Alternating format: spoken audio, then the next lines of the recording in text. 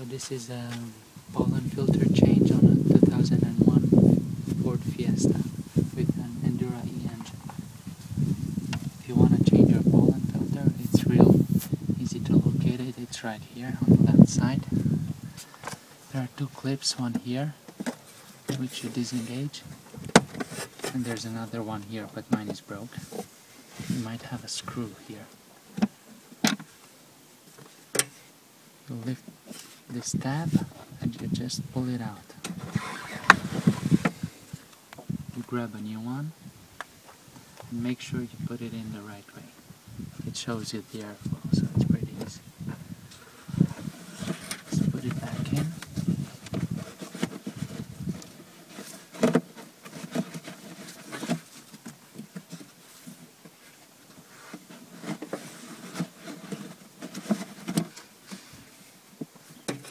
Put the clips back on. There's another one here, regular, and probably a screw here. I didn't have any screw. Okay, that's it.